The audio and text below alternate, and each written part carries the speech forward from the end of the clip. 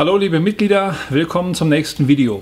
Der Thomas hatte mich kürzlich gefragt, wie viele Wiederholungen er machen soll an den Kraftgeräten, wenn er hier im Milon Kraft Ausdauerzirkel trainiert. Der Hintergrund der Frage war der folgende, und zwar er hat festgestellt, dass er bei manchen Geräten, wie zum Beispiel bei dem Bauchtrainer, mehr Wiederholungen in der einen Minute Trainingszeit schafft, weil die Amplitude beim Bauchtraining relativ kurz ist.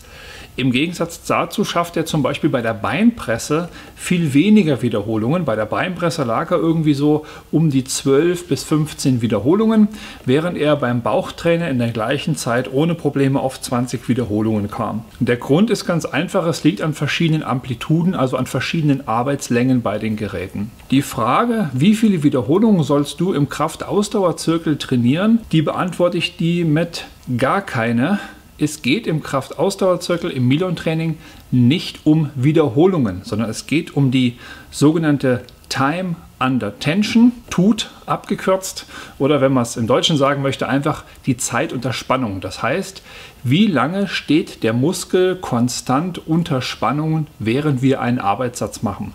Das ist eigentlich das Wichtige. Wenn man jetzt mal guckt, die Wiederholungszahlen, wenn wir also im freien Training arbeiten, dann benutzen wir die Wiederholungszahlen eigentlich auch nur, um eine gewisse Spannungsdauer festzulegen. Also wenn jemand quasi gesagt bekommt, trainiere deine Wiederholungszahlen so, dass du 8 bis 10, allerhöchstens 12 Wiederholungen machen kannst und dann soll der Muskel wirklich lokal erschöpft und ausbelastet sein, dann braucht er dafür meistens irgendwas zwischen 20, 30, maximal 40 Sekunden Zeit. Die meisten Leute werden so um die 30 Sekunden brauchen, um diese Wiederholungszahlen sauber auszuführen. Die Schwierigkeit, die sich daran ja quasi schon gibt, ist, der eine macht die Wiederholungszahlen schneller und ist mit seinen 12 Wiederholungen früher fertig, der andere macht sie viel langsamer. Also wenn wir ein Beispiel machen, derjenige, der seine Wiederholung so absolviert, dass er die aktive Phase eine Sekunde macht und er lässt dann drei Sekunden ab, beispielsweise, der braucht quasi für eine komplette Bewegung vier Sekunden,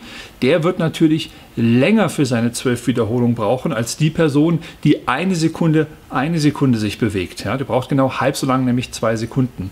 Und daraus ergibt sich ja, dass beide Leute im Prinzip nach ihren zwölf Wiederholungen die Muskeln ausbelastet haben, wenn sie ein entsprechendes Gewicht dafür natürlich nehmen. Aber die, die Trainingszeit, die Zeit, die sie im Satz waren, die hat deutlich variiert. Das ist ja eigentlich auch der Grund, warum es im Milon-Training nicht um Wiederholungen, sondern um Zeit geht, also um Zeit unter Spannung, um einfach dafür zu sorgen, dass jeder Muskel die gleiche Reizdauer, die gleiche Reizintensität hat. Und jetzt kommt die eigentliche Antwort.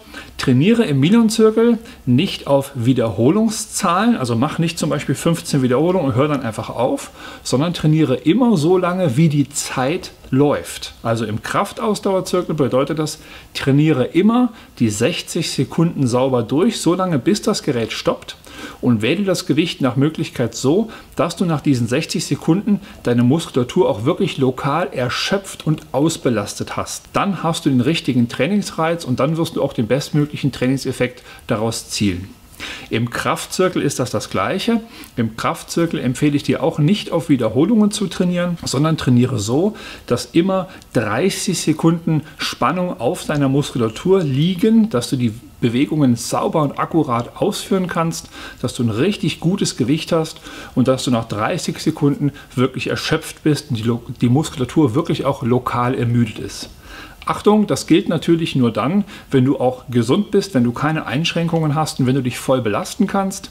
Wenn du irgendwelche orthopädischen Einschränkungen hast, Bandscheibenschaden, Schulterprobleme oder vielleicht auch Herz-Kreislauf-Beschwerden wie akuten Bluthochdruck oder vielleicht auch einen Zustand nach Herzinfarkt, dann ist es wichtig, dass das Training auf dich abgestimmt und gesteuert wird. Dann bitte nicht einfach ausbelasten, sondern unbedingt und auf jeden Fall mit einem Trainer sprechen. Ich hoffe, ich konnte dir helfen und die Frage beantworten. Danke, dass du zugeschaut hast. Bis zum nächsten Mal.